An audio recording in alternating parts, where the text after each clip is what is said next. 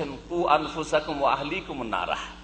তোমরা তোমাদেরকে এবং তোমাদের পরিবার পরিজনকে জাহান্নাম থেকে বাঁচাও, রক্ষা করো। তো পরিবার পরি- আহল। একটা আহল বলতে বুঝায় স্বামী, স্ত্রী আর ছেলে মেয়ে, কমপক্ষে কমপক্ষে এতটুকু। তারপরে যদি আপনার নাবালক ভাইরা থেকে আপনার অধীনে যারা আপনার হোটেলে খাচ্ছে, আপনার টাকা পয়সা নিয়ে লেখাপড়া করে, তাদের দেখাশোনা আপনি করছেন তাদের ভরণ পোষণের দায়িত্ব আপনার উপর রয়েছে, ইত্যাদি। বোনেরা রয়েছে তালাক প্রাপ্ত অথবা বিধবা। আপনার কাছে তা- থাকে খাওয়া দাওয়া করে, আপনার দায়িত্ব রয়েছে, স্বামীর ঘরে নেই। তাহলে আপনার অবশ্যই দায়িত্ব রয়েছে আপনার আহলের অন্তর্ভুক্ত। তাদেরকেও জাহান্নাম থেকে রক্ষা করা একজন মুসলিমের দায়িত্ব। তাহলে আপনার এই দায়িত্ব মনে রাখবেন যে আপনাকে নিজেকে ঠিক করার পরে আপনার স্ত্রী, আপনার ছেলে মেয়ে আপনার ভাই বোন এই যে আপনার ঘরের লোকেরা রয়েছে, সদস্য রয়েছে, এদের থেকে শুরু করতে হবে। নবী করিম সাল্লাহ তাই করেছেন। নবী করিম সাল্লামের ইসলামের দাওয়াত শুরু হয়েছে। প্রথম ইসলাম কবুল করেছেন কে? কে? খাদিজা রাজি আল্লাহ তারপরে তার বাড়িতে নাবালক ছেলে থাকে, আলী রাজি আল্লাহ ইসলাম কবুল করেছেন হ্যাঁ? তার সবচেয়ে ঘনিষ্ঠ মানুষ অবাকার সিদ্দিক রাজি আল্লাহ সর্বপ্রথম ইসলাম কবুল করেছেন ঠিক না?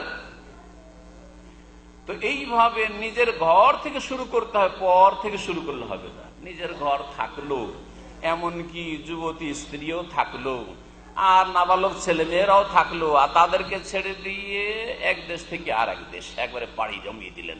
কিসের কাজে গেছেন ভাই? হ্যাঁ সময় দিতে গেছিলাম। এটা ইসলাম শিখাই নাই। আপনার দায়িত্ব ঘরে। আপনার এখান থেকে শুরু করতে হবে। এখান থেকে শুরু করতে হবে। কুয়ান নারা। যখন আপনার পরিবার ঠিক করলেন, আল্লাহ পাক যেন আমাদের সকলকে তৌফিক দান করেন। আল্লাহ পাকের একটি আয়াত আর বলি, নবী করিম সাল্লাহ সাল্লামকে মক্কার প্রথম দিকে যে আয়াতগুলি নাজিল হয়েছিল দাওয়াতের ক্ষেত্রে নির্দেশ দিয়ে তার একটি আয়াত হচ্ছে ওয়ানজের আশিরা তাকাল আকরাবি হে নবী, তুমি তোমার নিকট আত্মীয়দেরকে সতর্ক সাবধান করা। তাহলে নিকট আত্মীয় এখন আপনার বাড়ির আপনার স্ত্রী, ছেলে, মেয়ে ভাই বোন আপনার ঘরে যারা আছে, হয়েছে, আপনার বংশধারা। আপনার গোত্র থেকে শুরু করেন, আপনার বংশ থেকে শুরু করেন, আপনার পাড়া থেকে শুরু করেন, আপনার মহল্লা থেকে শুরু করেন। সৌদি আরবে যেই মহল্লায় আছেন সেটাই আপনার মহল্লা। এখন দুই বছর আপনি যাবেন না, তার মানে কি আপনি শুধু ওই দেশের কথা, গ্রামের কথা চিন্তা করবেন, আর যেখানে আপনার বাংলা ভাষাভাষীরা আছে, আপনি আপনার ভাষা দিয়ে সহি আকিদা প্রচার করতে পারবেন, সহি এবাদবন্দিকে শিক্ষা দিতে পারবেন হালাল হারামের শিক্ষা দিতে পারবেন, করবেন না? অবশ্যই। যিনি মাজমে আছেন, মাজমাই, যিনি আছেন জ্বালা জেলে জ্বালা জেলে যে যেখানে আছে, সেখানে আনদের আশিরা তাকাল আকরাবিন, বিশেষ করে আত্মীয় স্বজন যাদের সাথে রক্তের আত্মীয়তা রয়েছে, তারা আপনার ওপর বেশি হক রাখে, তাদের কাছে আল্লাহ পাক দাওয়াত পৌঁছাতে বলেছেন। সুতরাং এখন যখন নিজের ঘর হলো, ঘরের পরে আপনার গ্রাম, আপনার মহল্লা, আপনার পাড়া, আপনার বংশধর, আত্মীয় স্বজন থেকে শুরু করবেন এটা হচ্ছে আপনার দায়িত্ব। এই ক্ষেত্রে সুরা আসনে আল্লাহ বলছেন ওয়াতাওয়া সৌবিল হাক্কে ওয়াতাওয়া সৌ বিল হাক্কে। সত্য কথা, হক কথার একে অপরকে উপদেশ দেবে। এই তাওয়াসিবিল হক যেটা সুরে আসরে বলা হয়েছে, এটাকে কোরআনের কয়েকটি ভাষাই, ভাষা শুধু আলাদা, কাজ একটি। আর এক ভাষায় বলা হয়েছে আদাওয়া ইল আল্লাহ আল্লাহর দিকে ডাকা, আল্লাহর দিকে আহ্বান করা হ্যাঁ? বা দিনের দাওয়াত হ্যাঁ? দিন ইসলামের দিকে আহ্বান করা, আল্লাহর দিকে ডাকা, দিন ইসলামের দিকে আহ্বান করা। অথবা আর একটি ভাষা দিয়ে বলা হয়েছে আল আমরে বিল মারুফ আর নাহি আলিল মুনকার। কুন্তুম খায়রা উম্মাতিন উখরিজাত লিন-নাস তা'মুরুনা বিল মারুফ ওয়া তানহাউনা আনিল মুনকার। তোমরা সবচেয়ে শ্রেষ্ঠ জাতি। কেন শ্রেষ্ঠ জাতি? বনি ইসরায়েলদের আল্লাহ বলেছে তোমরাকে শ্রেষ্ঠতা দিয়েছি, তাদের কাছ থেকে নেতৃত্ব কেড়ে নিয়ে নবী মোহাম্মদ রসুল্লাহামকে আর তার উম্মদকে আল্লাহ শ্রেষ্ঠ ঘোষণা করলেন আর নেতৃত্ব দান করলেন কিসের জন্য? রূপ চেহারা দেখে হ্যাঁ? না সংখ্যাধিক্য দেখে না কোন গুণের ভিত্তিতে? আল্লাহ বলছেন তা মরুন আবিল মারুফ ও তানহাউন আনিল মুনকার ও তু মেনুন আবিল্লাহ ভালো কাজের নির্দেশ দেবে। ও তানহাউন আনিল মুনকার, অন্যায় কাজে বাধা দেবে। ও তু মেনুন আবিল্লাহ এবং আল্লাহর প্রতি বিশ্বাস ইমানের ঘোষণা করবে। ইমান ইমান আছে শুধু নয় ইমানের ঘোষণাও করতে হবে। ইমানের ঘোষণা শব্দটি আয়তে নেই, কিন্তু আমি আরেকটি আয়তের দিকে ইঙ্গিত করলাম এর মাধ্যমে। ভালো করে শুনেন। বলছেন আহসানু ক্বালা, ইন্নানি মিনাল আর ওর চাইতে ভালো মানুষ আর হইতে পারে? কথার দিক থেকে, কথার দিক থেকে ওর চাইতে ভালো কে বলনেওয়ালা হইতে পারে? যে আল্লাহর দিকে ডাকে, এখানে ভালো উপদেশ দেওয়ার কথা, অন্যায় কাজে বাধা দেওয়ার কথা বলা হইল। আর এক জায়গায় কি বললাম হ্যাঁ?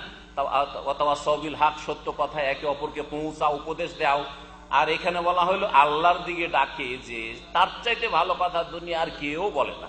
সুতরাং এর চাইতে ভালো কাজ আর কেউ করেনি। আম্বিয়া রসুলগণের আসল কাজই ছিল ভালো কথা বলা, ভালো কথা নির্দেশ দেওয়া আর অন্যায় কাজে বাধা দেওয়া। ওদের চাইতে ভালো লোক আরও কেউ হইতে পারে না। ও আমেলা সালেহান নিজেরাও ভালো কাজ করে। আল্লাহ বলছেন যে, শুধু অন্যদেরকে না নিজেরাও ভালো কাজ করে। ওয়াকালা ইন্নানি মিনাল মুসলিমিন, আর ঘোষণা করে বলে যে, আমি মুসলিম। মুসলিমিন। আপনার জবান দ্বারা বলবেন, আপনার হাল অবস্থা দ্বারা বলবেন। ভাষা দুই রকম আছে, আপনার অবস্থার ভাষা আর আপনার এই জবানের ভাষা। দুই ভাষা দিয়ে বলবেন। জবানের ভাষা দিয়ে প্রকাশ করল আলহামদুলিল্লাহ মুসলিম আমি। এটা হচ্ছে জবান দিয়ে। জবান দিয়ে কেমন আছেন ভাই? আলহামদুলিল্লাহ ভালো আছি। কখন যাবেন দেশে ভাই? ইনশাল্লাহ আগামী মাসে। প্রত্যেকটা বাক্যে বোঝা যাচ্ছে আপনি মুসলিম, তাই না? ইনশাল্লাহ আলহামদুলিল্লাহ, দেখা হয়েছে। সালাম আলাইকুম, ওয়ালাইকুম সালাম কি খবর ভাই, কেমন আছে আলহামদুলিল্লাহ, আল্লাহ যে হালকা রাখে ভালো আছে।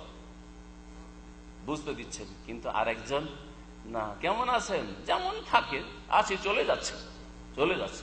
শুনছেন না আজকাল অমুসলিমদের ভাষাগুলি? এগুলো মুসলিমরা বলছে। বুঝতে দেবে না, এক ঘণ্টা কথা বলেন, বুঝতে টের পাবেন না যে সে মুসলিম অমুসলিম বুঝতে দিচ্ছে না। কারণ, পরিবেশ তার অনুকূলে না, দেখছে যেখানে মেজরিটি সব বেদিন। অথবা মেজরিটি এখানে সব অমুসলিম। সুতরাং এখানে আমি বুঝতে দেব না।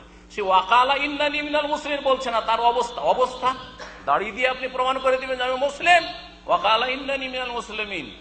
আপনি আপনার লেবাস পোশাক লেবাস পোশাক মানে টুপি পাঞ্জাবি গায়ে আমি কখনো টুপি পাঞ্জাবি মনে করি তবে ঢিলা ঢালা ইসলামের যে শর্ত মোতাবিক যে লেবাসগুলি রয়েছে লেবাস। যদি প্যান্টও পরতে হয় টাকনার ওপরে আপনার প্যান্ট দেখতে বোঝা যাবে যে এটা মুসলিমের প্যান্ট আছে। এটা মুসলমান প্যান্ট আছে, এটা খ্রিস্টান প্যান্ট নাই। আর টাকনার নিচে প্যান্ট দেখলে বোঝা যাবে এটা খ্রিস্টান বা হিন্দুদের প্যান্ট আছে। এই পার্থক্য যাতে করে বোঝা যায়। আপনার জামা, কাপড়, লেবাস, পোশাক, চলা, ফিরা হ্যাঁ উঠা, বসা সব কিছুতেই যেন বোঝা যায়, ওয়াকালা ইন্নানি মিয়াল মুসলিম।